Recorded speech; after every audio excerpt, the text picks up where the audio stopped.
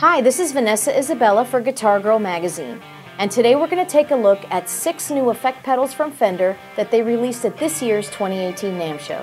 This pedal is called the Bends, and it features a dual audio path that helps preserve the volume and dynamics while you're playing.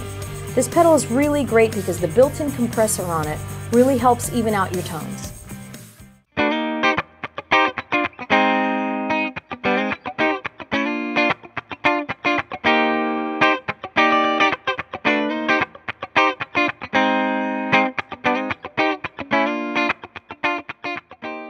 This next pedal is called the Marine Layer Reverb pedal. And I really dug this pedal because it's very simple. It has four knobs. Uh, one knob is pre-delay, reverb time, dampening, and level. And it has three different types of reverb so you can choose from, hall, room, and special. Um, I was able to create a lot of really cool layers and really cool sounds with this one. Check it out.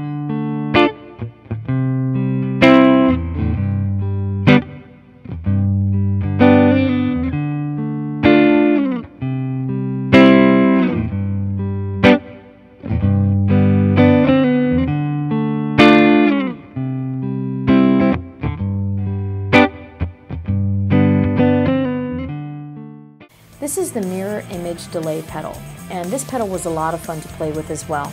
It has five knobs, one for time, depth, rate, feedback, and level.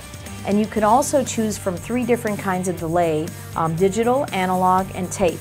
It also has a delay feature for the eighth note, which was really, really cool, which is very popular in a lot of songs and music.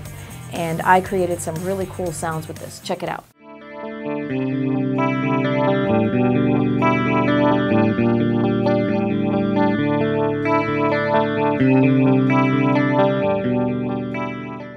This next pedal is called the Santa Ana Overdrive, and I really, really like this pedal.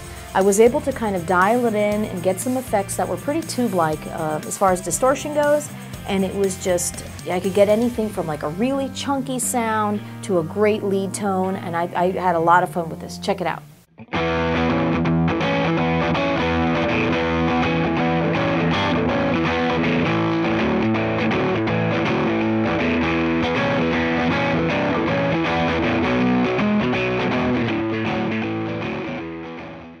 This pedal is called the Pugilist Distortion and it's really cool because it has two dual gain engines. It has one higher gain engine and one lower gain engine and it also has a blend knob here so you can blend them both together to get some really cool distortion sounds. Check it out.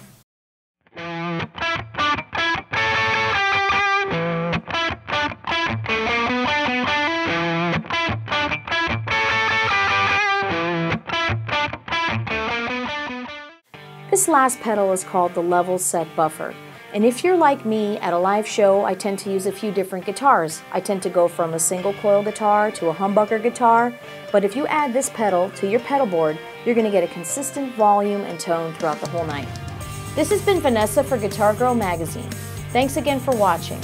For more information, please check out www.guitargirlmag.com for more reviews.